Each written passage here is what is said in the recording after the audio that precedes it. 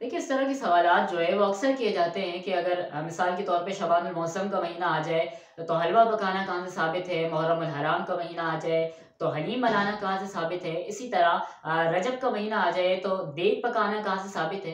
तो इन सारे सवाल का जो जवाब है, वो एक ही है, और वो है सारे सवाब।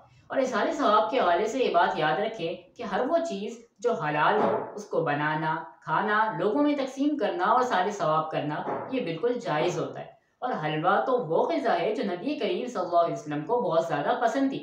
हदीस मुबारक में आया ये बुखारी शरीफ में भी हदीस मौजूद है इब्न माजा में मौजूद है। हज़रत आयशा रिवायत करती हैं कि कान रसूलुल्लाह सल्लल्लाहु अलैहि वसल्लम युहिब्बुल हलवा वल अस्ल। कि नबी करीम सल्लल्लाहु अलैहि वसल्लम को दो चीज़ें सबसे ज़्यादा महबूब थी एक हलवा और दूसरी चीज़ जो है वो शहद।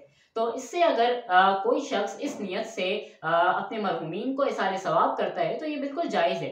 क्योंकि ये सारे इसारे सवाब के मुख्तलिफ़ अंदाज हैं कि बाज़ लोग हलवा बनाकर इसके ज़रिए अपने मरहुमीन को जो है वो सारे सवाब करते हैं। बाज़ लोग मुहर्रम हराम में हलीम बनाकर इसके ज़रिए सारे सवाब करते हैं। बाज़ लोग पानी या शरबत के ज़रिए सारे सवाब करते हैं। बाज़ लोग सदका खैरात के ज़रिए सारे सवाब करते हैं।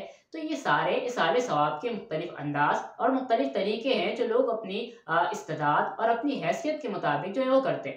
लेकिन यहाँ पर इस चीज़ की वजाहत ज़रूरी है कि ये फ़र्ज़ या वाजिब नहीं है। ना ही हलवा पकाना फ़र्ज़ या वाजिब है और ना ही इसाले सवाब करना ये फ़र्ज़ या वाजिब है। अगर कोई इसाले सवाब नहीं भी करता तो वो शख्स गुनाहगार नहीं होगा, जो कोई इस पर अमल करेगा, वो यकीनन सवाब पाएगा। लेकिन अगर कोई इसाले सवाब नहीं करता, हलवा नहीं भी पकाता तो वो शख्स गुनाहगार नहीं होगा और ना ही उसको किसी किस्म की मलामत जो है वो किया जाएगा